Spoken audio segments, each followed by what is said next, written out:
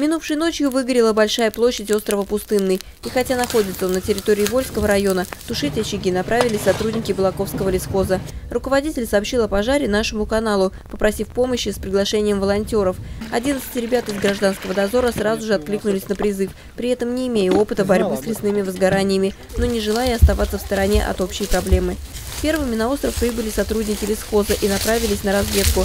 Выяснилось, что первый очаг расположен за полтора километра от кромки воды. Добраться до него было сложно, поскольку местами были сильные заросли. А ведь добровольцам еще нужно было тащить 20-литровые ранцы с водой, потому что поблизости от огня водоема не нашлось. Несколько часов ребята из гражданского дозора и сотрудники Блаковского лесхоза сражались с огнем. Осложнялась их работа плохой видимостью, и поэтому для определения термоточек привлекали квадрокоптер с тепловизором. Было обнаружено 7 крупных очагов и несколько десятков мелких, общей площадью почти в 2 гектара. Работали балаковцы слаженно. Лесники сбивали огонь ветками, а волонтеры заливали территорию водой. Так были затушены крупные очаги, и надежда возлагалась на утреннюю росу и заморозки, которые могли бы задержать тление травы.